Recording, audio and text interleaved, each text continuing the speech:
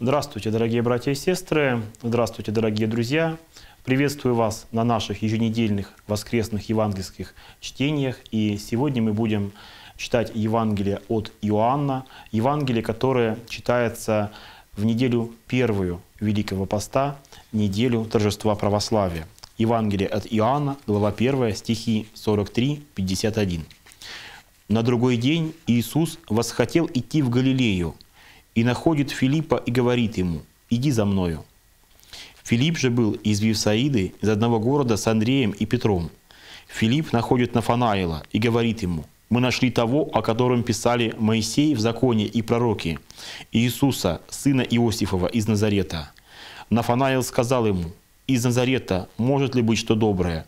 Филипп говорит ему, «Пойди и посмотри». Иисус, увидев идущего к нему Нафанаила, говорит о нем. «Вот подлинно израильтянин, в котором нет лукавства». Нафанаил говорит ему, «Почему ты знаешь меня?» И Иисус сказал ему в ответ, «Прежде, нежели позвал тебя Филипп, когда ты был под смоковницею, я видел тебя». Нафанаил отвечал ему, «Рави, ты сын Божий, ты царь Израилев». Иисус сказал ему в ответ, «Ты веришь, потому что я тебе сказал, я видел тебя под смоковницею, увидишь больше сего». И говорит ему, «Истина, истинно говорю вам, отныне будете видеть небо отверстым и ангелов Божьих, восходящих и нисходящих к Сыну Человеческому».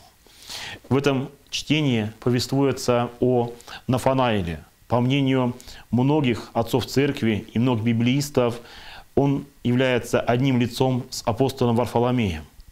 И мы видим, как он сказал о Христе, как он сказал своему брату о том, что может ли из Назарета быть что хорошее. И в этом очень важный момент заключается, потому что Нафанаил из текста Ветхого Завета, он знал, что Господь должен прийти из Вифлеема. И вот мы видим это некое здравое сомнение Нафанаила. И мы видим, как происходит его встреча со Спасителем – и потом Нафанаил исповедует, что действительно ты, Исий, Сын Божий, ты царь Израиля. И мы видим то выражение, которым Господь характеризует Нафанаила. Он говорит, что вот подлинно израильтянин, в котором нет лукавства. Почему так? Почему Господь похвалил вот это, казалось бы, сомнение?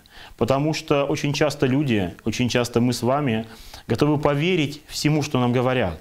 Но вместе с тем мы должны быть осторожны. Осторожны в духовной жизни особенно.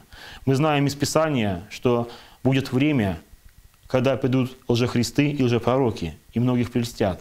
И поэтому, конечно же, к любым чудесам, к любым событиям нужно относиться с такой вот долей сомнения, с долей рассуждения.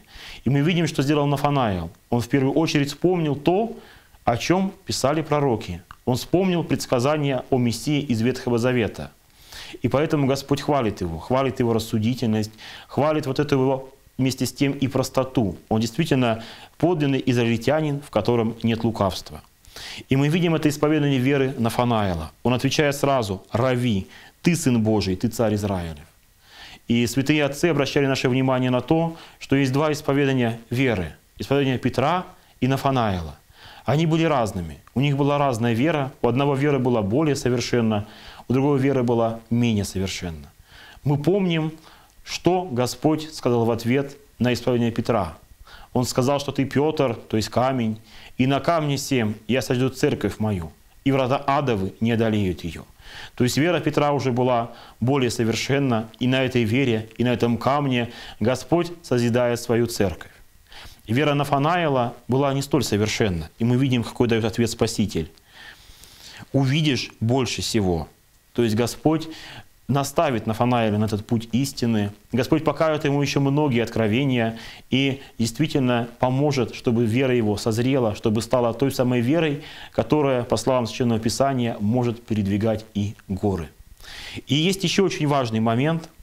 Этот небольшой диалог, когда Филипп говорит ему «пойди и посмотри». Один маленький, но очень важный эпизод. Очень часто наши люди, наши современники – думают о том, что они знают что-либо о церковной жизни, хотя сами ей не живут.